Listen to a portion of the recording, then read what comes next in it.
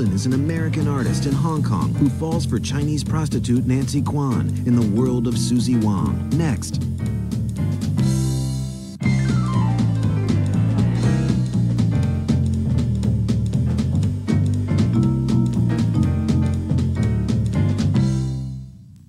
The movie that we're about to see opened right here at Radio City Music Hall in New York City. Now, this picture, The World of Suzie Wong, in its release as the Thanksgiving holiday attraction in 1960, turned out to be the biggest hit at Radio City up to that time. William Holden plays an American architect who arrives in Hong Kong to devote a year to painting.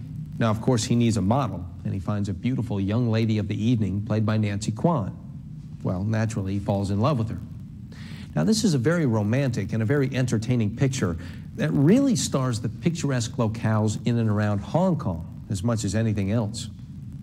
Here are William Holden and Nancy Kwan in The World of Suzie Wong.